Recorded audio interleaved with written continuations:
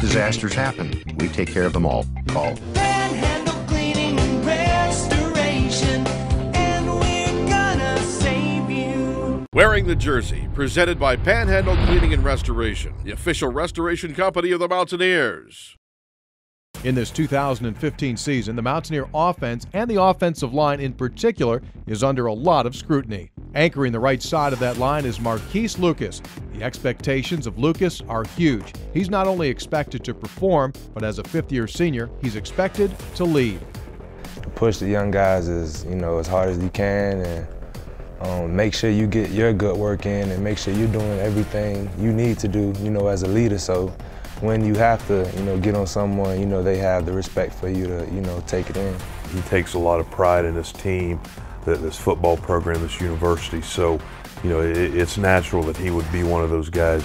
And he has a strong voice with our team that people look up to and people believe in him.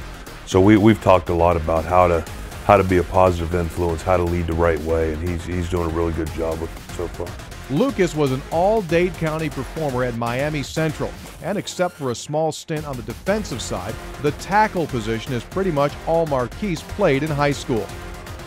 Lucas played guard for a good deal of his early career, but offensive line coach Ron Crooks saw something and moved him back to tackle. We moved him to tackle because that was, uh, in our opinion, the way we could get our best five players on the field. And we moved him up there and saw that he could he could handle it pretty well and he could move pretty well and he could, you know, handle that edge pretty good. So we just kept him there and let him develop, and, and you know, we, we think it's paying off for us now. If you spend any time around Marquis Lucas, you can't help but notice that smile. One thing that keeps it on his face these days is fatherhood. In the offseason, he had a son, which presented Lucas with one of those life changing decisions. He decided to temporarily leave his child in Florida and finish his degree here in West Virginia.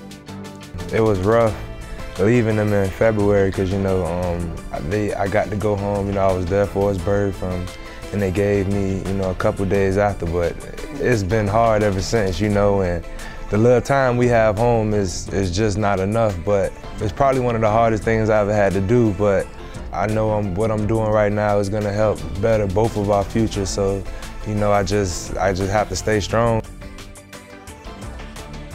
I'm a fifth year senior, you know, that's that's five years, but it doesn't even feel like it.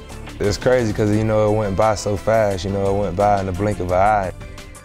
Definitely approaching every game thinking like, you know, hey, this could possibly be my last game, you know, that's, that's just how I'm looking at it, you know, um, time's up, you know, it's either, you know, put up or shut up.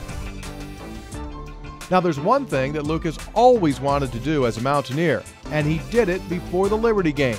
He got to drop the hammer. Uh, The first time I saw it actually live was my freshman year. We were um, actually playing Maryland, and uh, Will Clark dropped it. That was my first game. You know, I got to like suit up and everything. So just seeing him with that hammer in his hands, you know, everybody around him fired up, and then you know him dropping it just. It just looked powerful, you know, and it's something I always admired. It was something I always wanted to do, and thank God I was able to do it.